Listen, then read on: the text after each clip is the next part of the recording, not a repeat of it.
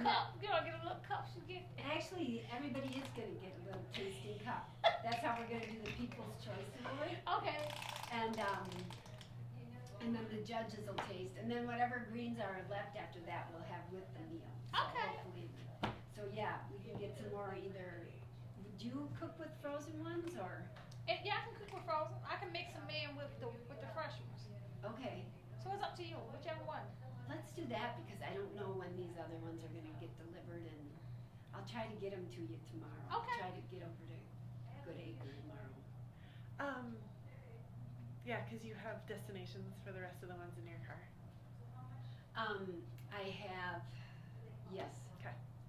But, I mean, there's extra greens in there too, but I was just thinking that we should use, or maybe it's not good to use the, I'd use up the fresh ones first, because the other ones are already frozen.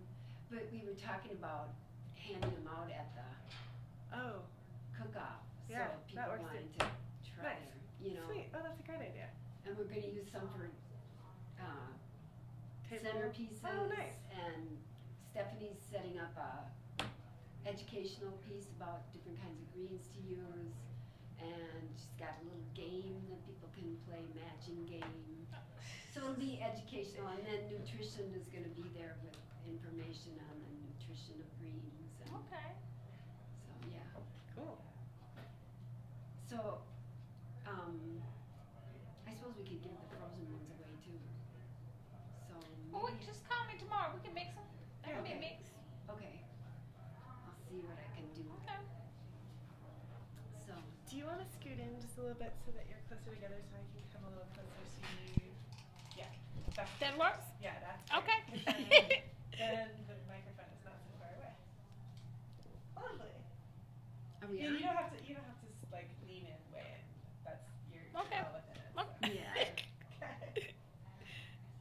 So, this is Carolyn Brown, and Carolyn's going to be a contestant in the Greens Cook-Off on Yes. Saturday. And we want to just find out a little bit about your greens story and what, um, can you tell us about when you first learned how to cook greens or when you first ate them? Okay. They go way back. So as a kid, I grew up in the South. In the South, where we grew greens. Um, I remember as a kid, we used to pick, um, you know, pick the weeds and act like we was cooking greens. um, so watching my grandmother cook greens. So we would go to the garden. We would harvest the greens. Um, we would pick the greens, and then we would watch her cook them. Um, so it started out when I was uh, about seven. So I've been eating greens, harvesting greens, doing the garden thing since seven. Um, got older. As a teenager, I my first experiment with cooking greens was 15. Was 15. Um, and then like we would experiment with different food. So in the South, you would use one piece of meat we call salt pork meat. Um, it'll be a cured piece of meat, salt, totally different good taste. Uh, the second piece of meat I experimented with greens was ham hocks, which is also a smoked piece of meat. And the last but not least is smoked turkey, which is really good too. So I've been eating greens my whole life. Um, it's really good. Mean, it's very nutritious. Uh, and then like we'll eat them with our hand versus a fork. Gotta have the cornbread to go with it. Some cornbread made from scratch, or else they call it hot water cornbread that you will cook in the skillet Oh. but it's delicious though. Cause it's like a little pancake, you know, just make this cornbread like a little pancake. so yeah, it's really good. So you just take cornmeal and add water and You would make your cornbread up like you regular would, a box of Jiffy Mix or whatever your choice is, and just pour it in the skillet and cook it like you was cooking pancakes. Mm. And they call it hot water cornbread. Oh. Cause it turned out like it's not a bigger portion. You just make a stack of it like Uh-huh. pancakes. Oh, sounds good. It So is good. Pick up your greens with the cake? And or- just crumble it up in your cake, and your crumble, crumble the Greens? cornbread up in your greens. Okay, Yeah, you eat it the same. You just cook it differently. It's just a thinner piece of bread. yeah. When you don't want to cook a whole pan of cornbread, you just cook it like that. That way you don't have to cook a whole pan full. So I am really curious about if you're teaching your children how to make greens and your grandchildren, like, is it Takari? Yes, yes. He, He loved to cook. cooking? Does he like to cook? Yeah, he liked to cook. So he in the kitchen. So he was like, "What you do with this?" So Oh. talk him through like what you do and what not to do. Uh, my both my girls know how to cook. All my kids know how to cook, but my girls cook greens more. And one son, and my other son, he love chili versus doing all anything other than some quick and easy. Somebody else have to do that because he's not gonna do it. But yeah, my both my daughters know how to cook greens, That's great. and they cook with turkey more than they do with pork. Okay. hmm So, uh, since you were seven, do you ha- have you added any special twists to your greens and or No, Or it tastes ju- good mix. So mixing kale, mustards, and collards is a really good combination. okay? And putting a little spinach in there. Not a lot of spinach because put too much spinach, it kind of bland, so it changes the flavor. But just a little bit of spinach in there, and it's good. Yes. So you have four different type of greens, but when you put them all in the pot and season them right, it's good. You're making my mouth water. so and another thing too that make like you can take your greens and pre-cook them and put them in the freezer and so when you get ready to cook them for fully oh my god because then you gonna let all the flavor the marinated in there? Oh it tastes so good. That's another secret to pre-cook them and just put them in the freezer so you get ready to, um, to eat them so for Saturday in the greens cook-off, uh, what kind of meat are you going to use? turkey some smoked turkey. Okay, yep i'll be using smoked turkey. Sounds good. yes. So i'm looking forward to saturday. So, when you cook greens a lot, how where do you usually get your collards and turnips and mustards? And, Uh, cause I got a garden in front of my house, so Mhm. I took my greens and over the course of the, the growing season, and I cut them up and put them in the freezer. So the non-growing season, I used them then. So like it might have been like some kale I might get out of some Cub Foods or Whole Foods Mhm. to add to them. But I grew some kale too, so Okay. it depends on how much I'm cooking and. If I'm only cooking for me, I have enough already. But if I'm cooking for the kids, I have to go to the store and add to it. Yeah.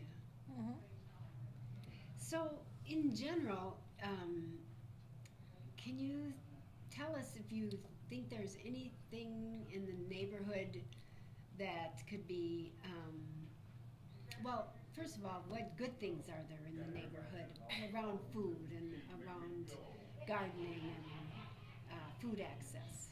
The community gardens. Um, when they did the first, they started with the garden in the box. That was the first one. Then uh, they expanded with all the community gardens, and that really helped out. So that was a plus to see like the engagement, like how many people get an interest, how many people didn't know that they could grow certain foods, and they learned that you can grow certain foods in this area. So yeah, especially when people learn about the different soils. How many backyard box gardeners are there now through seaweed? Um, I think it's about 15. I think it's about 15. Nice. Yep. So most of them have those garden in the boxes, and some of them have the um, collapsible boxes. Mhm. Is there anything you can think of that gardeners might want to increase production or um, that would be helpful in having better access for more people? Uh, yeah, maybe try to expand on growing more beans and peas. That way it's more accessible, and then that will sustain longer during non-growing season Mm-hmm. to grow more of those type of items. Do you, I know Jocelyn wanted to talk about the out, Outside, out garden out there. Do you have any thoughts you want to share with us about that? Um, that was really accessible. That garden was very accessible to the individuals that work, the employees that work here. Cause like they may instead of getting out of work, having to run to the store to get certain items, you can just go right outside and it's accessible to you. So that garden site really was a good garden Mhm. site for accessibility for the employees in the building itself. Okay. And it got a lot of attraction for community engagement too. A lot of individuals sent emails, stopped by, talked about the garden, want to find out how they can get involved to become a gardener themselves. That's great. Mm-hmm.